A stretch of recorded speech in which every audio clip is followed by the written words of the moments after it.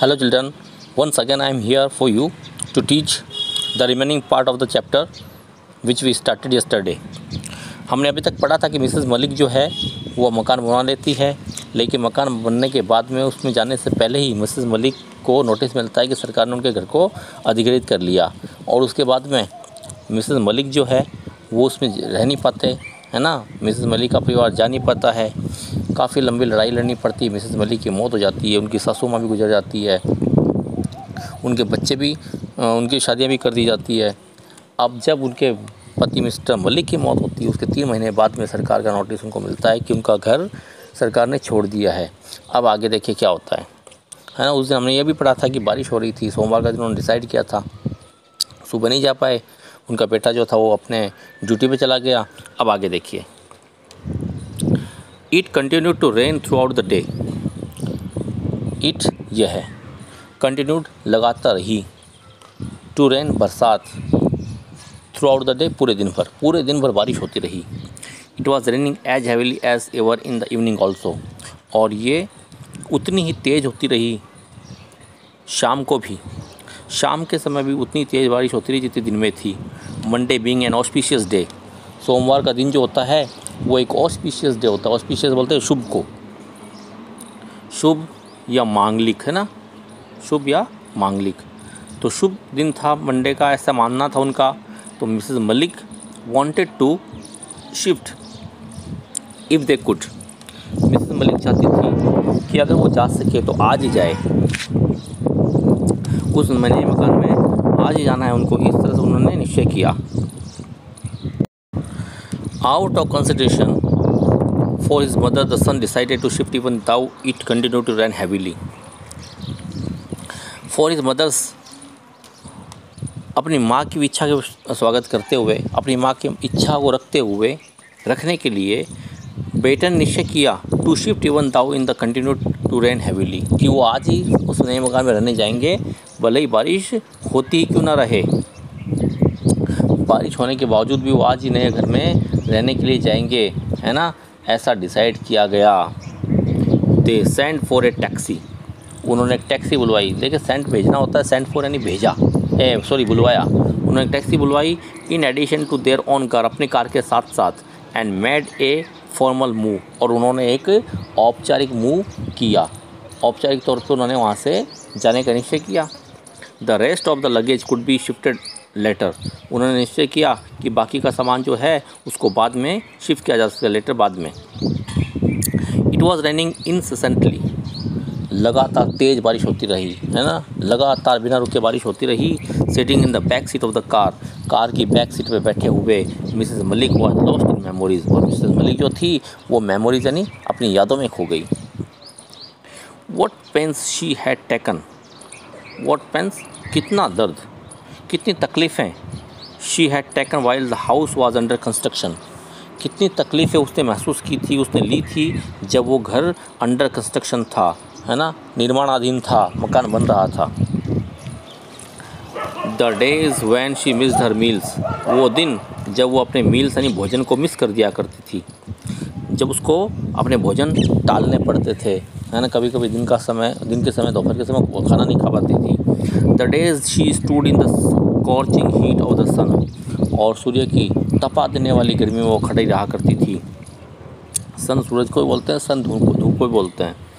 Supervising the work in progress देखते हुए, निरीक्षण करते हुए, कार्य का प्रोग्रेस यानी कार्य की प्रोग्रेस को, कार्य के विकास को देखते हुए, मकान बनते हुए देखती थी वो, है ना? निरीक्षण करती थी, कोई चीज़ ख़राब नहीं हो जाए, है ना?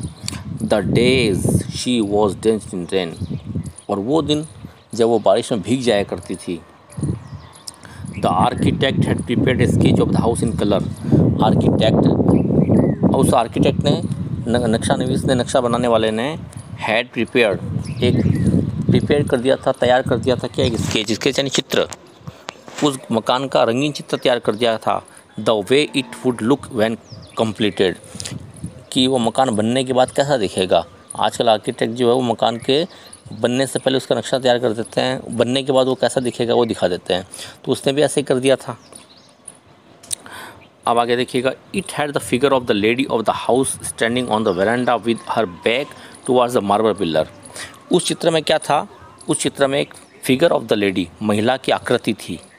उस घर की महिला की आकृति थी। स्टैंडिंग यानी खड़े हुए, होते हुए ऑन द वेरेंडा बरामदे के अंदर विद हर बैक अपनी पीठ को सटाए हुए मार्बल की पिल्लर पे। मार्बल से बना एक पिल्लर था वहाँ पे। उस पिल्लर के पास एक औरत का तस्वीर बना दी गई थी आर्किटेक्ट के द्वारा उस घर की महिला थी वो। एलिगेंट एंड ग्रेसफुल शानदार और मर्यादित तस्वीर। एन इमेज ऑफ़ कंटेंटमेंट ये एक इमेज थी। किसकी इमेज थी? कंटेंटमेंट की। कंटेंटमेंट में सेटिस्फिकेशन सेटिस्फिकेशन संतुष्टि की तस्वीर। Clad in a maroon sari. वो महिला कैसी साड़ी में थी? क्लैड इन लिपटी हुई थी किसमें? मैरून रंग की साड़ी के अंदर। Mrs Malik felt that the architect had painted her. उस समय मिसेस मलिक ने सोचा था कि आर्किटेक्ट ने पेंटेड हर, उसी को तस्वीर में रंग दिया है, उसी की तस्वीर बना दी है। ऐसा मिसेस मलिक को उस समय आभास हुआ था but she never wore maroon coloured sari. लेकिन उसने कभी भी मैरून कलर की साड़ी तो पहनी नहीं थी। वो कभी मैरून रंग पहनती नहीं थी the figure in the sketch however was as tall as Mrs Malik हालाँकि हवेवर इन यद्यपि फिगर इन द स्केच तस्वीर में जो महिला थी, वो as tall as Mrs Malik उसकी कद काठी वैसी थी, उसकी लंबाई उतनी थी जितनी मिसेस मलिक की थी. Reclining against the pillar she stood the way Mrs Malik use to stand उसमें दिखाया गया था मिसेस मलिक जो थी, वो भी उसी तरह से खड़ी हुआ करती जैसे तस्वीर में उस औरत को खड़ा किया गया था। Mrs Malik saw the figure in this case that would go and stand before the dressing table many a time Mrs Malik जो थी उस तस्वीर को ले जाती थी, देखती थी तस्वीर को और बहुत बार जाके ड्रेसिंग टेबल के सामने अपने आप को देखा करती थी कि वो किस प्रकार से खड़ी होती थी, है ना? जिस प्रकार से उस तस्वीर महिला खड़ी थी, उसी उसी अंदाज में जाके वो भी टेबल के सामने खड़ी हो जाया करती थी ड्रेसिंग टेबल के सामने। She thought that she must show that sketch to the to her daughter in law sometime she thought उसने सोचा था दैट कि शी मस्ट शो उसको दिखाना चाहिए, वो दिखाएगी, क्या दिखाएगी? दैट स्केच उस तस्वीर को दिखाएगी, किसको दिखाएगी? To her daughter in law अपने पुत्र वधु को, अपने बेटे के बहने के बाद उसकी पत्नी को समटाइम किसी समय, भविष्य में किसी समय वो उस तस्वीर को अपनी बहू को दिखाएगी, ऐसा वो सोचा करती थी। Her daughter in law sitting on the front seat with husband उसकी डॉटर इन लॉ जो थी, उनकी पुत्र वधु जो थी, अब वर्तमान में आ गई वो। अभी तक याद कर रही थी पिछले जमाने टाइम की बातें, जब वो मकान बनाती, कितनी तकलीफ़ में रही थी, कैसे आर्किटेक्ट ने उसका तस्वीर बना दे कर दी थी। लेकिन अब वो वर्तमान में आती है, उसकी बहू बैठी हुई थी कहाँ पे? अपने पति के साथ आगे की सीट में, है ना? आगे की सीट के ऊपर। कहाँ जा रहे थे, वो अपने नए मकान में रहने के लिए जा रहे थे। Moving the rear view glass of her car towards her moving घुमाते हुए रियर व्यू ग्लास पीछे देखने का शीशा, गाड़ी के अंदर एक पीछे देखने का शीशा होता है, उस शीशे को अपनी तरफ़ घुमाते हुए। She steered started repainting her lips उसने स्टार्टेड यानी शुरू कर दिया। क्या शुरू कर दिया? रीपेंटिंग रंगना, दोबारा से रंगना। किसको? अपने होठों को। अपने होठों पर लिपस्टिक लगानी शुरू कर दी। Where was the need to paint the lips when they were going to there on house अब मिसेस मलिक उसको देख के सोचती है। है ना अपनी पुत्र को देख के सोचती कि वेयर वॉज़ द नीड कहाँ पे आवश्यकता थी? नीड यानी ज़रूरत। कहाँ पे ज़रूरत थी? टू पेंट द लिप्स अपने होठों को रंगने की। When they were going to there on house जबकि वो अपने घर पे जा रहे थे। भला अपने घर पे जाते समय होठों को रंगने की ज़रूरत क्या थी इस समय? At the most they would eat and then go to sleep ज़्यादा ज़्यादा उनको घर पे जाके खाना खाना था और उसके बाद में गो टू स्लीप सोने जाना था। Strange are the ways of modern girls अब वो सोचती हैं कि स्टेंज बड़े अजीब होते हैं आजकल की लड़कियों के, आधुनिक लड़कियों के तौर तरीके। आधुनिक लड़कियों के तौर तरीके बड़े ही अजीब हैं। And how the girl talked और लड़कियाँ बातें कैसे करती हैं, कैसे बातें करती थी उस समय? शी वॉज़ जैबरिंग इंसेंटली वो लगातार इंसेंटली लगातार जो थी वो बोले जा रही थी, जबर जबर यानी बकबक करते रहना, है ना? बड़बड़ाते रहता। वो लगातार बकबक करती रहती थी। Why must she talk with her husband in English आगे मिसेज मलिक सोचते भला उसको अपने खुद के पति से इंग्लिश में बात करने की ज़रूरत है है ना? अंग्रेज़ी में अपने पति से वो बात क्यों कर रही है? क्या आवश्यकता पड़ गई ऐसी? Mrs Malik had not picked up English Mrs Malik को कभी इंग्लिश समझ नहीं आई थी। अंग्रेज़ी में वो थोड़ी कमज़ोर थी। She had failed in this only वो केवल इसी काम में पीछे रह गई थी असफल रह गई थी। She had accomplished everything else in life इसके अलावा उसने पूरा हर काम में वो पूर्ण थी। हर काम को उसने कर लिया था, केवल इंग्लिश बोलने के सिवाय। She learn ballroom dancing यहाँ तक उसने बॉल रूम डांसिंग भी सीख ली थी। बॉल नृत्य को ही बोलते हैं। ठीक है ना? आधुनिक नृत्य जो पश्चिमी देशों में किया जाता है, ऐसा नृत्य भी उसने सीख लिया था। पश्चिमी या धनादय परिवार के लोगों में किया जाता है। इसके अलावा, suddenly she it occur to Mrs Malik that maybe figure painted by the architect was such of her daughter in law was that of her daughter in law अचानक ही ऐसा लगा, इट ऑकर ऐसा लगा to Mrs Malik Mrs Malik को लगा, क्या लगा? That maybe the figure painted by the architect was that of her daughter in law कि वो आर्किटेक्ट ने जो तस्वीर बनाई थी उसके पुत्र वधु की तो नहीं थी। हाउ कुड दैट बी लेकिन ऐसा कैसे हो सकता था? She was nowhere on the scene when the plan of the house was prepared वो तो कहीं भी थी नहीं नो वेयर यानी कहीं नहीं थी। ऑन द सीन दृश्य पटल पर when the plan of the house was prepared जब वो मकान की प्लानिंग कर रहे थे। बट दैन लेकिन तभी she was wearing a maroon coloured sari that the figure in the sketch had लेकिन तभी उसने देखा कि उसने भी मैरून कलर की साड़ी पहन रखी थी, उस फिगर में भी जैसी पहन रखी उस औरत ने। जैसी तस्वीर में उस महिला ने साड़ी पहन रखी थी, उस वैसी रंग की मैरून कलर की साड़ी उसकी पुत्र वधु ने पहन रखी थी। Yes it was maroon colour हाँ ये मैरून कलर ही था। ये मैरून रंग ही था। Mrs Malik never like maroon colour और मिसेज़ मलिक को कभी भी मैरून कलर अच्छा नहीं लगा था। It was too loud for her taste ये उसके टेस्ट के मुताबिक नहीं था। उसकी पसंद के अनुरूप नहीं था। It was girls like her daughter in law who were fond of maroon colour ये तो लड़कियाँ होती हैं। उसके पुत्र वधु की जैसी आधुनिक लड़कियाँ who were fond of fond of इन्हें पसंद करती, जो पसंद करती थी मैरून कलर को। तो इस तरह से मिसेस मलिक सोच रही है अपने पुत्र वधु के बारे में। She can never wear maroon surely. वो कभी भी मैरून कलर नहीं पहन सकती निश्चित रूप से said Mrs Malik to her अपने आप के लिए, अपने आप से मिसेज मलिक कहती है। I wish she could also work as hard as I did अब वो मनी मन कुट रही है चिट रही है। आई विश मैं सोचती हूँ कि she she could also work उसको काश मेरे जितना काम करना चाहिए था। काश वो काम कर पाती मेरे जितना। As hard as hard as I did उतना कठिन जितना मैंने किया। I had every brick of the house laid before my eyes मैंने अपनी आँखों के सामने।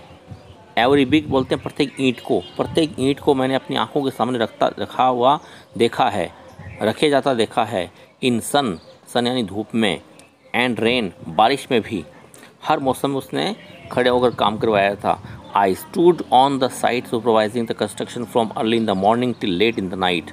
आगे वो सोचती है कि आई स्टूड मैं खड़ी हुआ करती थी। खड़ी रहा करती थी साइट के ऊपर सुपरवाइजिंग यानी देखते हुए द कंस्ट्रक्शन निर्माण कार्य को from early in the morning जल्दी सुबह से लेकर till late in the night देर रात तक। मैनी अ टाइम बहुत बार, अनेक बार I help the mason with mortar and brick bricks मैंने मदद की थी। किसकी मदद की थी? मैसन्स की, मिस्त्रियों की। किससे? With mortar. मोर्टर बोलते हैं। सीमेंट का और बजरी का मिश्रण। एंड ब्रिक, ईंटें। तो ईंटों से और सीमेंट, बजरी के मिश्रण से मैंने कई बार मिस्त्रियों की मदद भी की थी। Many time I haul the rubber pipe and spread water on the plastered wall. आगे वो ये भी सोचती है, मैनी टाइम्स बहुत बार मैंने हॉल द रबड़ पाइप। रबड़ की पाइप को पकड़े रखा और स्प्रेड यानी छिड़का। पानी छिड़का प्लास्टिक की गई दीवारों पे। सीमेंट पे पानी छिड़कते हैं ना तो मैंने छिड़काव भी किया था गिली दीवार सीमेंट की दीवारों पे, ताकि उनको तर किया जा सके। Then there is the house इसी सोच में, कश्मकश में वहाँ पो में, वो तो सब पहुँच जाते हैं। कहाँ पहुँच जाते हैं?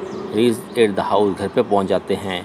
He son drove the car straight to the porch and her daughter in law jumped out of it and there she stood reclining against the marble pillar on the veranda वो घर पहुँच जाते हैं। ही सन, उसका बेटा। Drove the car straight to the porch यहाँ पे हर आना चाहिए था मिसेस मलिक के लिए। तो उसका बेटा जो है मिसेस मलिक का, वो क्या करता है? वो गाड़ी सीधे अपने पोर्च के अंदर ले जाता है। And her daughter in law jump out it और उसकी डॉटर इन जो, ला जो है, वो बाहर निकलती, गाड़ी से कूद के उतरती है। And there to reclining against the marble pillar on the veranda और जाके मार्बल के पिलर के पास में टिक कर खड़ी हो जाती है, सारा लेकर खड़ी हो जाती है। Exactly the way the architect had painted the figure in the sketch कैसे खड़ी होती है? एग्जैक्टली द वे ठीक उसी अंदाज में, ठीक उसी तरीके से, जैसा कि आर्किटेक्ट ने पेंट कर रखा था, चित्र में दिया था, तस्वीर बनाई थी उस स्केच में, ठीक वैसे ही जाके खड़ी हो जाती है। Mrs Malik felt a rage in her heart Mrs Malik को अपने दिल में एक झटका सा महसूस होता है। Maybe the architect had mocked her उसको लगा कि हो सकता है कि आर्किटेक्ट ने शायद उसका मज़ाक बनाया होगा मोगरेटर उसको चिढ़ाया होगा। ऐसा वो सोचती है स्टैंडिंग ऑन द वरंडा है ना, बरामदे में खड़े होते हुए close to the pillar trying to cover her elaborate hairdo with the maroon colour sari her daughter in law was giving instruction to the servants about the luggage in the taxi following the car तो रामदेव खड़े होते हैं, वो pillar के पास खड़ी होगी जाके वो, और उसने क्या किया? कोशिश करने लगी, कवर करने की, ढकने की, अपने विस्तृत किए गए हेयर डू को मतलब बाल को केश विन्यास को with the maroon colour sari maroon colour के साड़ी के पल्ले से उसने सिर को ढका। Her daughter in law was giving instruction to the servants उसकी पुत्र पुत्रवधु जो थी, वो इंस्ट्रक्शन दे रही थी, निर्देश दे रही थी किसको नौकरों को, किसके बारे में अबाउट द लगेज सामान के बारे में, जो कि in the taxi following the car taxi में सामान आ रहा था ना कार के पीछे पीछे उस टैक्सी में उस सामान उतारने के लिए नौकरों को निर्देश दे रही थी। The luggage had been remove from the taxi luggage जो था टैक्सी से उतार लिया गया। The taxi driver drove away after having been paid और टैक्सी ड्राइवर को भेज दिया गया। पेड करने के बाद, उसको किराया चुकता करने के बाद में Mrs Malik was still sitting on the back seat of the car Mrs Malik जो थी, वो अभी भी बैठी हुई थी कहाँ पे? कार की पिछली सीट पर। She had a strange sinking sensation और उसके मन में एक सिंगिंग सेंसेशन था एक सनसनाहट थी, डूबती हुई सनसनाहट then her son and daughter in law enter the house तभी उसके बेटे ने, उसकी पत्नी ने पुत्र वधु ने एंटर्ड यानी प्रवेश कर लिया घर के अंदर। They put on the lights one by one उन्होंने वन बाई वन यानी एक के बाद एक पुट ऑन यानी जला दी थी द लाइट्स यानी रोशनी। लाइटें जला दी थी। एवरी रूम वॉज़ लिटअप प्रत्येक कमरा लिटअप यानी रोशन हो गया था। है ना? प्रकाश से भर गया था। Mrs Malik looked on wide eyed Mrs Malik ने अपनी आँखों को विशाल करके, बड़ा करके देखा, अपनी खुली आँखों से देखा। Still sitting in the back seat of her car अभी भी वो कार की बैक सीट पे ही बैठी हुई थी। In her excitement nobody seem to have Rikam remember to open the door for the for her to way it was done in the excitement excitement यानी उत्तेजना। नए घर में आने की उत्तेजना में न बड़ी सीम्ड ऐसा लगा कि किसी ने ध्यान नहीं दिया, किसी ने देखा। टू हैव रिमेंबर्ड किसी को याद नहीं आया। टू ओपन खोलना, दरवाज़ा उसके लिए। The way it was done जैसे कि ये घटित हुआ था। जैसे कि घटनाक्रम हुआ था, ऐसा लगा कि नए घर में आने की उसमें, उत्तेजना में भूल गए थे सभी, उसके लिए दरवाज़ा खोलना। सडनली अचानक her son thought of his mother अचानक बेटा अपनी माँ के बारे में सोचता है। She ran to the porch वो पोर्च की तरफ़ दौड़ता है एंड ओपन खोला उसने door of the car car का दरवाज़ा उसने खोला। A drive in the evening always makes me go to sleep the mother spoke in whisper अब माँ जो है बोली, जैसे दरवाज़ा खोला बेटे ने, उसकी माँ को बोला उसने, बाहर निकलने के लिए तो उसने स्पोक ने बोला। क्या बोला? विस्पर फुसफुसाते हुए। क्या फुसफुसाया उसने? माँ ने कहा कि a drive in the evening शाम के समय में की जाने वाली यात्रा जो है, वो हमेशा मुझे नींद ला देती है। मैं सो जाती हूँ, जबकि वो सोई नहीं थी। Her daughter in law had also come out. उसकी बेटी पुत्रवधु जो थी, वो भी बाहर आ चुकी थी। Everyone was laughing. हर कोई हंस रहा था। Mrs Malik's daughter in law was standing against the marble pillar on the veranda again. और मिसेज मलिक की डॉटर इन लॉ जो थी, वो खड़ी थी बरामदे के पिलर के पास में, बरामदे में फिर से। She was trying to cover her hair do with her maroon colour sari और उसने फिर से अपनी मैरून कलर की साड़ी से अपने बालों को ढकने का प्रयास किया, है ना? प्रयास कर रही थी, अपने, क्या बोलते हैं, पल्लू को सिर पे ले रही थी। I am not eat going to eat अब मिसेज मलिक कहती है कि मैं खाना खाने नहीं जा रही हूँ। आई हैव नो एपेटाइट मुझे एपेटाइट नहीं, भूख। मुझे भूख नहीं है। ऐसा मिसेस मलिक कहती है, मुझे खाना नहीं खाना है, मैं खाना नहीं खाने जा रही हूँ, मुझे भूख नहीं है। ऐसा मिसेस मलिक ने कहा I would like to sleep मैं सोना पसंद करूँगी. The servants had laid dinner on the table नौकरों ने खाना लगा दिया था टेबल के ऊपर। Then you better retire to you room तब बेहतर होगा कि आप अपने कमरे में चली जाएँ। अगर आप खाना नहीं खा रही हैं तो आप सोने चली जाएँ। है ना? ऐसा कहा। किसने कहा ऐसा? Said the daughter in law पुत्र वधु ने कहा पॉइंटिंग इशारा करते हुए टू रूम एक कमरे की तरफ़ और वो कमरा कौन सा है? देखिएगा, कमरा है टेन बाई एट, दस बाई आठ का कमरा। And her son conducted Mrs Malik to eat और उसका बेटा मिसेस मलिक का बेटा जो है, वो अपनी माँ की बाहों को पकड़ के, माँ के हाथ को पकड़ के ले जा रहा है घर, कमरे की तरफ़। होल्डिंग हर हैंड उसका हाथ पकड़े हुए ले जा रहा है। She was feeling terrible drowsy वो उसको महसूस हो रहा था, जैसे बहुत ज़्यादा उसको भयानक रूप से ड्राउजी यानी नींद आ रही है। वो नींदा महसूस कर रही थी वो। Mrs Malik shook her head again Mrs Malik ने फिर से अपना सिर हिलाया but what was wrong with it लेकिन उसके साथ गलत क्या था? Her husband had already gone उसके पति जो थे, वो पहले ही जा चुके थे। कहाँ जा चुके थे? उनकी मौत हो चुकी थी। She she would follow him और वो भी उनके पीछे पीछे जाने वाली थी। है ना? उसको लगा कि वो भी चली जाती। है ना? One day she must do it एक दिन तो ऐसा होना ही है। उसको भी एक दिन मरना ही है। Could be my be my mother in law's room and after her it might be converted into a store the words record in her Mrs Malik's ears अब मिसेस मलिक के कानों में अपने कहे गए शब्द, आपको पीछे याद होगा, आपने पढ़ा था पिछले एक वीडियो में मलिक शुरू शुरू में बोलती है, किससे बोलती है? आर्किटेक्ट से, कि ये कमरा दस बाई आठ का होना चाहिए, कमरा आठ बाई दस का होना चाहिए, है ना? और इस कमरे को हम पहले सासू माँ के लिए रखेंगे, हमारी सास के मर जाने के बाद उसमें हम इसको स्टोर रूम बना लेंगे, ऐसा बार बार दोहराती है। अब उसको दीज वर्ड्स यही शब्द री रिकॉर्ड यानी बार बार गुंजित हो रहे थे, गुंजायमान हो रहे थे, गूंज रहे थे उसके कानों में। क्या गूंज रहे थे? आई थॉट मैंने सोचा कि it could be my mother in law's room ये मेरी सास का कमरा हो सकता है, होगा। एंड आफ्टर हर उसके बाद में, यानी उसके मर जाने के बाद में it might be converted into a store इसको हम एक स्टोर में बदल सकते हैं। ऐसा मिसेस मलिक अपने विचार रखे थे उसने। आर्किटेक्ट ने और वही बात उसके दिमाग में बार बार घूम रही थी। And then she hear her daughter in law's comments और तभी उसने अपने डॉक्टर इन लॉ के कमेंट को सुना, टिप्पणी को सुना। क्या बोलती उसने पत्नी? उसकी पुत्र वधु अपने पति से बोल रही हो the house is otherwise very well planned इस घर को हालाँकि बहुत अच्छे से बनाया गया है। इस घर के निर्माण में सारी योजना को अच्छी तरह से किया गया, लागू किया गया है। It lacks only store room लेकिन इसमें लैक्स यानी कमी है। इसमें कमी है, एक स्टोर रूम की कमी है। I would like to have a big enough store मुझे एक बड़ा स्टोर रूम चाहिए। ये शब्द किसके हैं? ये मिसेस मल्लिक के पुत्र वधु के जो अपने पति से बात कर रही है कि मुझे इस घर में कोई कमी नहीं लगी, सिवाय एक स्टोर रूम के। इसमें स्टोर रूम नहीं है और मुझे चाहिए एक बड़ा store room Mrs Malik hear it Mrs Malik ने ये बात सुनी। मिसेस मलिक ने ये शब्द सुने and she felt as if और उसे महसूस किया एज इफ़ जैसे कि शी वॉज़ सिंकिंग, वो डूब रही थी डीप गहराई में एंड डीप और गहराई में इनटू ए बॉटमलेस वेल एक बॉटमलेस बोलते हैं, जिसका तह नहीं हो।